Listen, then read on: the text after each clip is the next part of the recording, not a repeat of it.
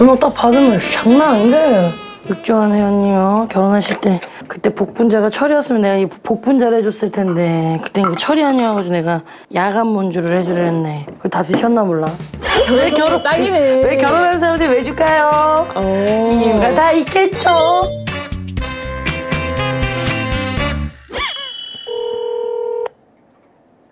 아이고 아이고. 아니요 혹시 그 사진 보셨습니까? 뭐예요? 야관문 2탄 복분자주. 그 야단문 하나 더 구할 수 있나요? 야관 다, 다 먹었어요? 아 예 아 진짜 급한 마음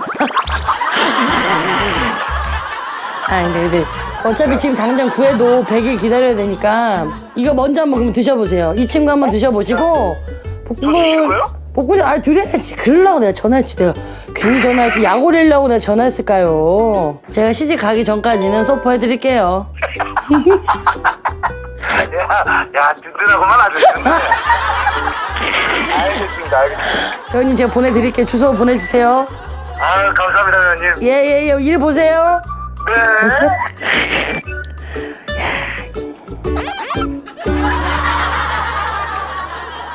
네 대부님 정우님과 함께